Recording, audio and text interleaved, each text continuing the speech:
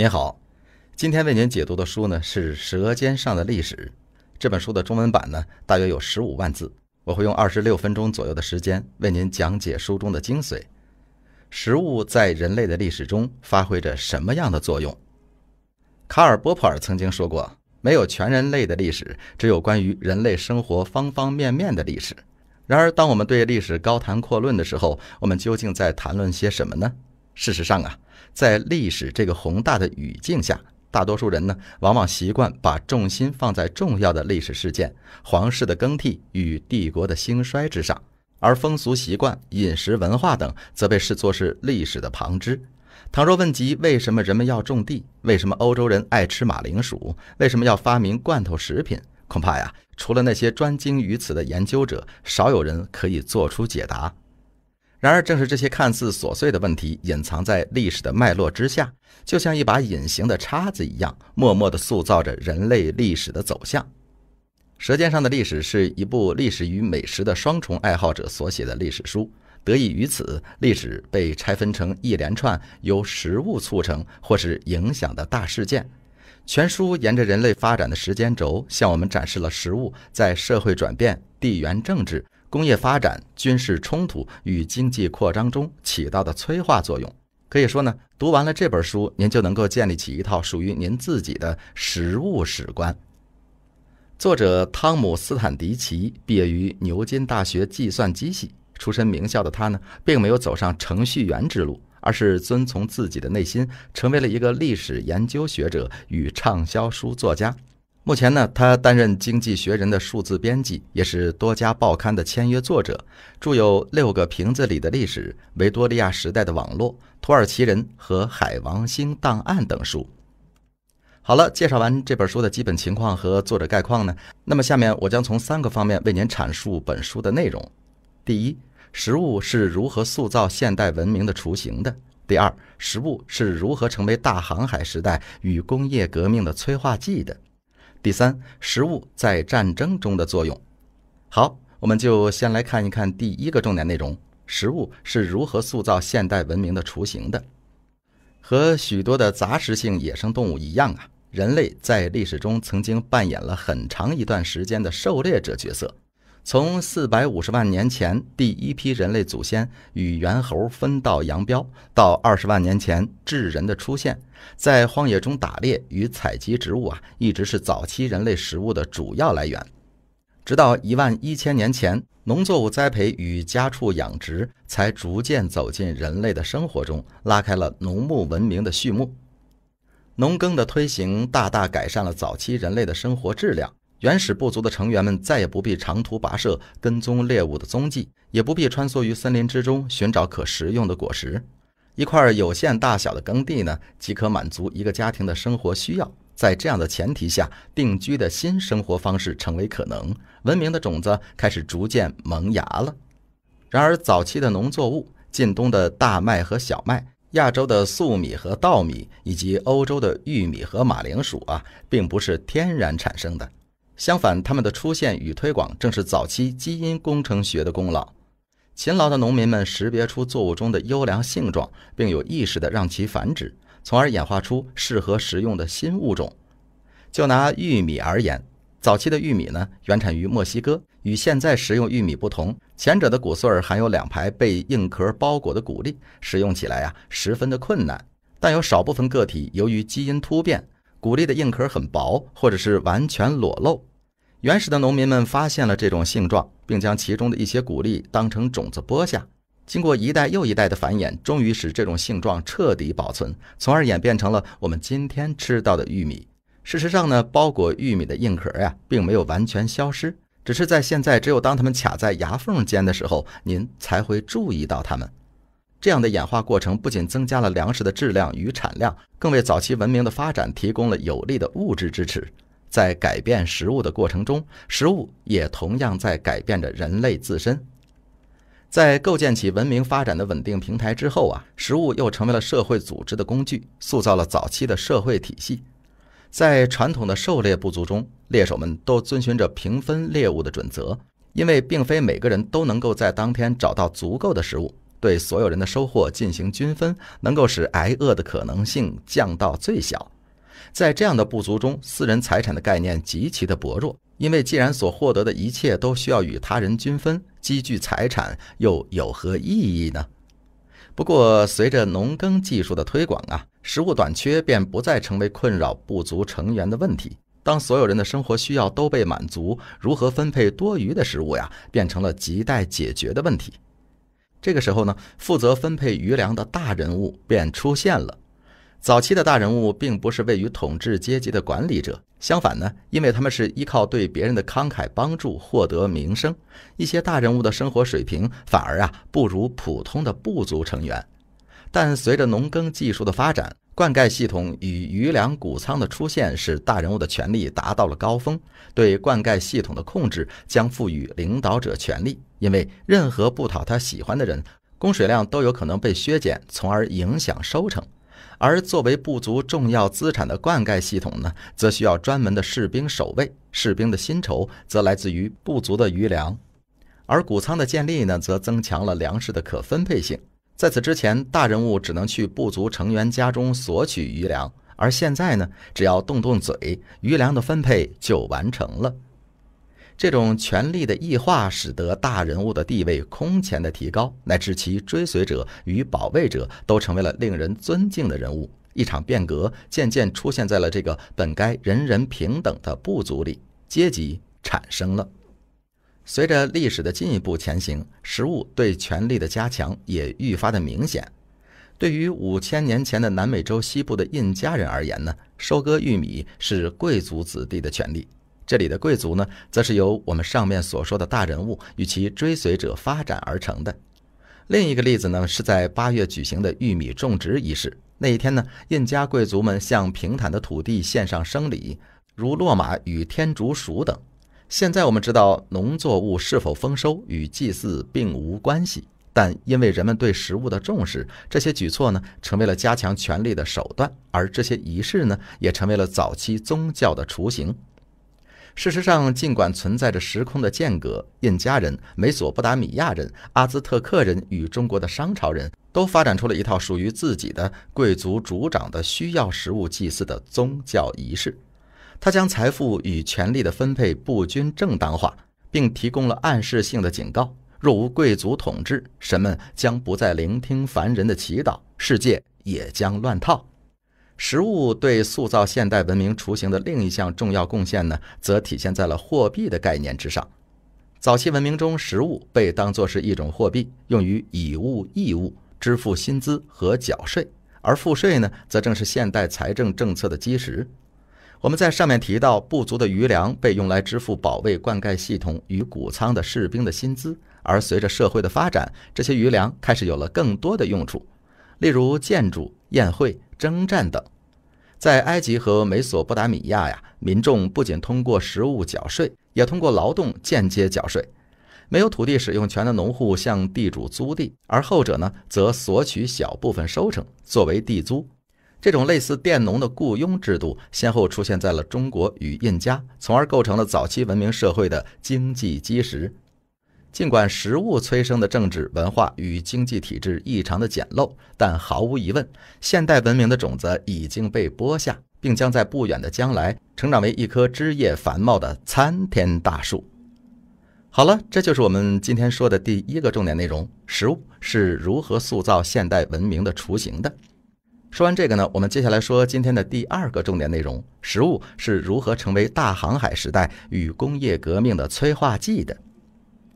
在早期的希腊史书中啊，香料被视作是珍贵无比的宝物。公元前五世纪的古希腊作家希罗多德曾经声称，在采集桂皮时，必须穿上由牛皮制成的连衣服，只露出一双眼睛，只有这样才能够保护采集者免受一种形似蝙蝠的凶猛生物的攻击。而在采集另一种更珍贵的香料肉桂的时候呢，人们需要将大块的牛肉放在山谷中来引诱一种巨鸟。这种巨鸟用肉桂筑巢，当它把牛肉带到巢中，巢穴便会因为承受不了牛肉的重量掉到地上，人们便可以前来拾取肉桂。尽管这些被过于神话的故事后来啊被许多学者嗤之以鼻，但它们确实产生了极佳的效果。各地的买家对香料趋之若鹜。这些充满异国情调的植物萃取物，在十几个世纪内将它们的异香传遍了全球，并编织出了一张横越世界、影响深远的贸易地图。一四五三年，东罗马帝国首府君士坦丁堡被奥斯曼土耳其人所攻陷，从此呢，整个中东及近东地区全部成为了穆斯林的天下。由于君士坦丁堡的特殊地理位置啊，欧洲人从此不能再像他们的前辈那样通过波斯湾前往印度和中国，也不能再直接通过这个位于博斯普鲁斯海峡的巨大港口来获得他们日益依赖且需求量巨大的香料。欧洲人必须找到一条新的贸易路线，直接从香料群岛获得香料的资源。一四七四年六月。一位声誉卓著的意大利天文学家保罗·托斯坎奈利在写给葡萄牙宫廷的信里啊，阐述了他与众不同的理论。他声称，从欧洲到香料之国印度最快的路线呢是向西航行，而非试图朝南方和东方航行，绕过非洲的底部。在信中呢，他还估计了中国的位置，并声称这个国家比任何已经被发现的国家都富裕。它不仅能够提供庞大的利益与许多很有价值的东西，也拥有大量的金银珠宝和香料。然而，葡萄牙宫廷并未理会他。不过，一位水手却听说了他的信，并取得了一份副本。这个水手呢，便是哥伦布。怀着对黄金与珍贵的香料的渴望，哥伦布踏上了他的远征。只不过，他并不知道，前方等待着他的不是物产富饶的亚洲，而是一片未知的大陆。美洲，他并没有寻找到香料的踪迹，反而是发现了各式各样的新食材：玉米、马铃薯、巧克力、番茄、辣椒。这些本地食材迅速散播到了全世界，并成为了餐桌上的美食。不过，遗憾的是啊，哥伦布一直坚信自己所到的地方是印度，直到1506年去世，他仍然深信自己确实到达了亚洲。在哥伦布出发不久以后，迪亚士。达伽马、麦哲伦等航海士们也开始了他们的航行。这些出色的冒险者们怀揣着对未知的期待与征服欲，踏上了寻找香料群岛之旅。大航海时代在这些各异的航线的交错之中，缓缓地拉开了序幕。在短短的两百多年间，世界各地相对隔绝的状态被打破，东西方之间的文化贸易交流开始大量的增加。殖民主义与自由贸易主义也开始出现，欧洲国家开始了原始而又血腥的资本积累，资产阶级的力量逐渐开始壮大，并开始走上了历史的舞台。在这样的政治前提之下呢，另一场即将改变世界的事件——工业革命正在缓缓地萌芽。首先进行工业革命的是英国。这个依靠殖民扩张积累了大量资本的国家，在18世纪一跃成为了世界上最大的资本主义殖民国家。国内外市场的扩大对工厂手工业提出了技术改革的要求，一场改变生产力的革命似乎是刻不容缓。而食物呢，在这一进程中依旧起着不可或缺的作用。食物的催化作用首先体现在对人口与经济的助推上。在英格兰经济学家马尔萨斯所著的《人口论》中，任何国家都无法避开马尔萨斯陷阱，因为人口总是呈等比级数增加，而粮食呢呈等差级数增加。总有一天呐，食物的供应将不能满足人口的需求。然而，英国并未陷入马尔萨斯预言的陷阱中，尽管在18到19世纪，英国的人口增加了三倍以上，但经济却增长得更快。原因呢，就出在食物来源之上。英国并不种植大部分它所需要的食物，而是专精于工业制造，尤其是棉纺织品。然后呢，再用它们交换廉价的海外食物。廉价而优质的食物带来了人口的增长，并为工业革命提供了充足的劳动力和稳定的物质基础。食物的第二个催化作用呢，则可以追溯到万年前，远古植物的遗骸被埋在了地层下。经过地壳隔绝空气的压力和温度条件下作用，产生了一种被称为煤的碳化化石矿物。充足的煤炭能源使得英国摆脱了生物旧体制的束缚，人们不再需要依靠活着的植物采集能源，而是开始利用大量储备的过去的阳光。这些阳光在数百万年前便已被聚集起来，以死去的植物的形式储藏在地下。归功于充足的能量来源，冶金工业与纺织工业得到了前所未有的发展，从而促进了更高效的能量利用驱动机械——蒸汽机的发明。食物的第三个催化作用远比另外两个更依赖食物进口。英国运用来自地下的煤来驱动新蒸汽机，同样的，它也运用来自海外的食物来为工人提供能量。来自西印度群岛的蔗糖在19世纪迅速占领了英国的餐桌。事实上呢，到1900年，蔗糖所能提供的热量啊，已经占据了英国人所摄取的总热量的百分之二十二。相当于八百万公顷小麦所能提供的热量。糖被加在茶里、粥里，或者呢被制成果酱加在三明治里。这些甜甜的食物为工人们提供了仿佛无穷无尽的力量和极高的工作效率，从而加速了工业革命的进程。下面呢，我们就来看一看今天的最后一个重点内容：食物在战争中的作用。在战争史上，什么才是最具杀伤性的武器呢？是刀剑、机关枪、坦克，还是原子弹呢？答案呢是出乎意料的。杀人最多的武器，并非是那些在战场上逞凶的冰冷器械，而是决定了无数战场局势却最容易被我们忽视的必需品——食物。自从远古时代以来呀，食物作为武器的力量便已得到了认可。公元四世纪的罗马军事作家维吉提乌斯指出，挨饿比战役更容易摧毁一支军队，而饥饿比刀剑还要凶残。他也引述了一句军事格言：“任何不提供食物和其他必需品的人都将不战而败。”在大部分的人类历史中，食物是名副其实的战争燃料。公元前四世纪。亚历山大大帝对军事体制进行了改革，食物与辎重不再由车马或是奴仆携带，而是由士兵自行背负。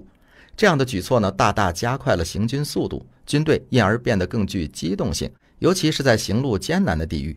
然而，仅靠士兵背负的食物是远远不够支撑一场战争的。因而，在缺乏有效运输手段的古代呀，合理的食物分配、搜寻食物的手段、周遭环境的富庶程度、是否是丰收的时节，都是在进行战争的时候所必须考虑到的因素。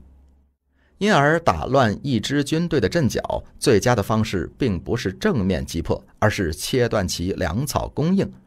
一个古老的实例出现在罗马与迦太基的第二次布匿战争中。为了阻止横冲直撞的迦太基首领汉尼拔，罗马政府发布公告，在汉尼拔可能率军通过的地区，所有的居民都应该烧毁其房舍，销毁其农产，抛弃其田园，以便让他没有任何粮食可依食。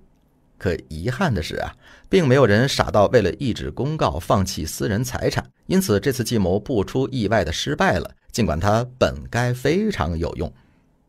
另一项防卫策略呢是不让敌人取得加工食物的设备。一六三六年，为了延缓西班牙军队的进攻，法国将领奉命捣毁行军沿线的所有炉灶和磨坊。没有他们，军队所抢夺的谷粒便无法变成面包，而士兵必须在一地扎营数日才可以搭起可携式的炉灶。如果食物补给切断，战争就无法进行下去。甚至面临惨败的风险，这样尴尬的境地一直持续到了一八零九年的罐头食品的雏形出现，才稍有缓解。令人惊奇的是呢，创造出这一发明的并不是科学家，而是一名厨师。这位名叫尼古拉斯·阿佩尔的厨师将保存的食物装进瓶子或罐子里，并将容器的开口非常仔细地封上，并放入双层蒸锅加热。尽管他并不知道这其中的化学原理，但这种纯靠直觉的做法是相当奏效。一八一五年，在滑铁卢的战场上，有些士兵就带着罐装口粮，在克里米亚战争中呢，制成罐头的肉，喂饱了英国和法国的军队。在美国南北战争中，北军的士兵靠罐装的肉、牛奶和蔬菜为生。罐装食品的出现呢，不仅延长了食物的保质期，更使食物的运输变得方便而快捷。尤其是在铁路出现之后，运输食品的效率比起百年前何止高了十倍。